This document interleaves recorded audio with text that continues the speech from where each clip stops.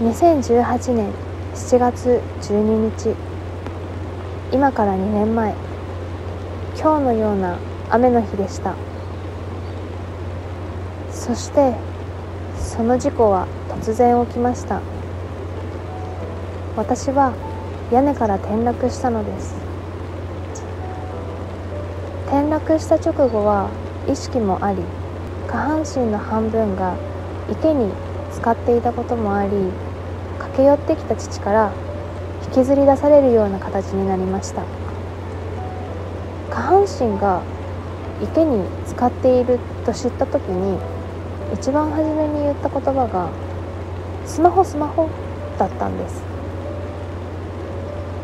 ズボンの中にスマートフォンをしまっていたので水没してないかが一番気になって父にスマホを取り出してもらって動作確認をしてああよかった。水没してないって思ったのが一番初めです。体はも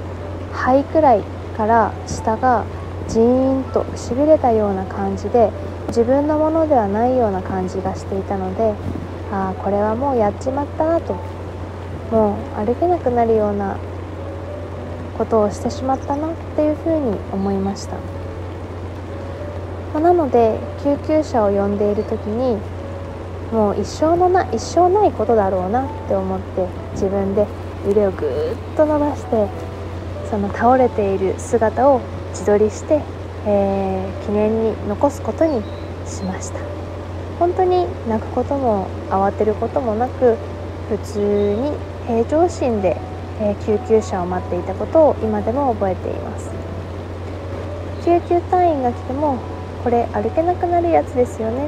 って言ったりあと救急車の中でも自然と普通に質問に受け答えをしたりと。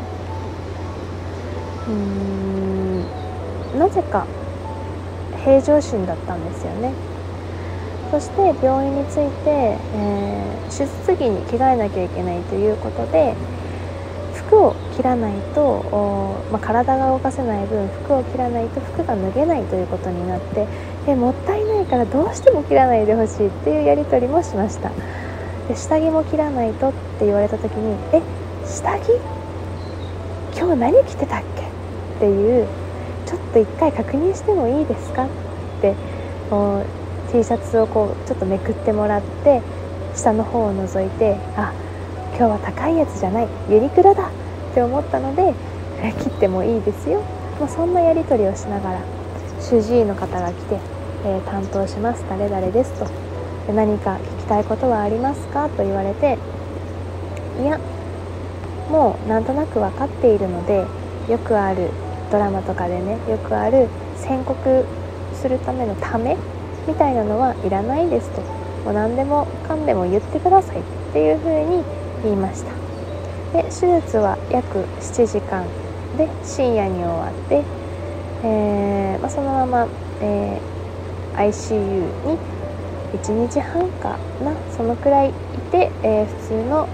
病棟に行った。っていうのがあ私の事故の流れになります、まあ、その病棟に行った後にちょっと落ち着いてから主治医の方が来て、えー、脊髄の損傷して8番あたりのその神経を損傷して、えーまあ、今の医学では歩けないっていう怪我になりますというふうに言われました。まあ、あそうですかっていう感じに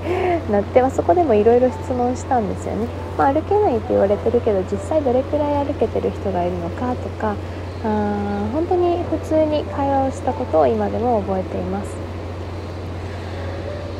まああっという間の2年だったなって思いますしでもそのことは本当に昨日のことのようにずっと覚えています。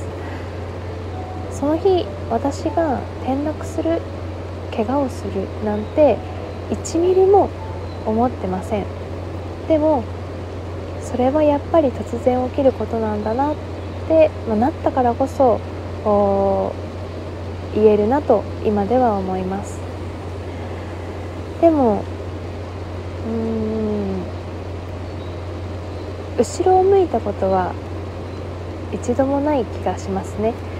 やっぱり常に前を向いて怪我をした直後目を覚め目を覚ました直後からじゃあ車椅子でどうやって生きていくんだろうどうやって楽しく生きていけるんだろうっていうことをずっと模索し続けてそのためにやっぱり今のインターネットネットを使ってたくさんたくさん調べてそれが本当に今の自分のこの姿この行動力につながっているのかなというふうに思います。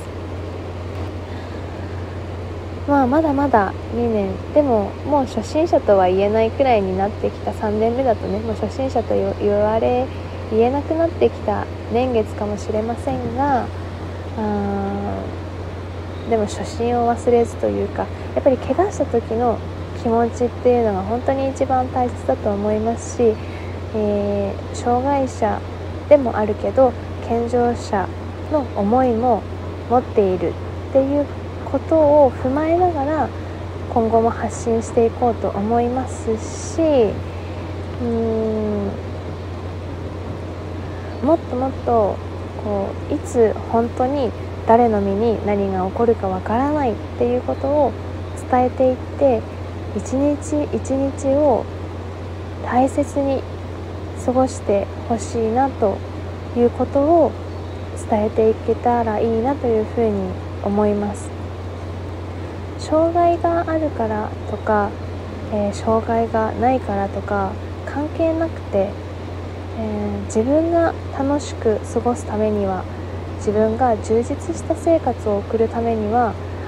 やっぱり必要なのは自分の行動力一歩を踏み出す行動力っていうのが必要なんだなっていうふうに思います。まあその行動力の中にやっぱり体が不自由っていう部分とかでハンデがあることも事実ですがでもそのハンデを抱えながら前を向いて楽しく充実した生活を送ってる人もたくさんいます。その充実レベルとか楽しいっていうのは人それぞれ誰かと比べるものではなくて自分が今昨日の自分より1週間前の自分より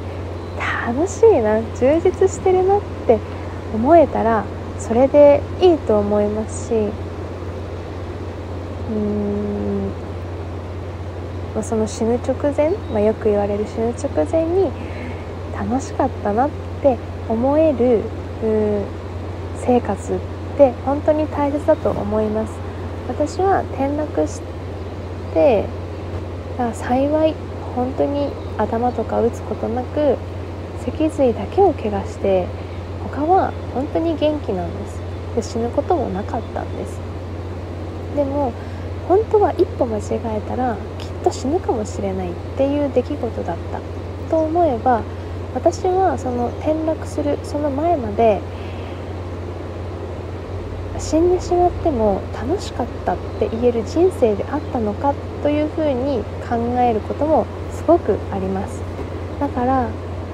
難しい。本当に毎日毎日充実させることとか毎日毎日楽しいって思うことは難しいことだけどでもそうさせようそういう風な考えにしようって思うことがあ大切だと思います。だから今うんねやっぱりいろんな形で自分の闇とか自分の嫌な部分をいろんな媒体を使って発信してそれをストレス発散にしてる人たちもいるかもしれないけどそれをした時に明日死んでしまって後悔がないのかなとかそういうことを思う時もあります。なので、えー、本当に一人一人がなかなか実感はしづらいですけどでも明日何が起こるかわからないって思って自分のために周りの誰かのために、えー、楽しく幸せに生活していけるようなきっかけとかそういう、うん、考えになるなんか一つのピースであればいいなというふうにこの投稿がそのようなピースであればいいなというふうに思います、まあ、なかなか私は別にその怪我をした時のことを思い出したくないとかっていうわけじゃないんですけどなんかそれをうん発信することで誰かのプラスになるのかなとかって思うこともあったので今まで YouTube であまりその自己投資のことっていうのはお話ししなかったんですがうんでもやっぱり私も明日何が起こるかわからない。今でもやっぱり何が起こるかわからないからこそなんか皆さんに伝えれることは伝えていきたいなというふうに思います。はいではこんな感じで、えー、2年前の私の出来事を初めてお話ししました、ま今後もこの動画を見ていただいたり、まあ、その他の活動ももっともっと頑張っていきたいと思いますので皆さん今後ともぜひ応援をよろしくお願いいたしますでは本日も最後までご視聴ありがとうございました。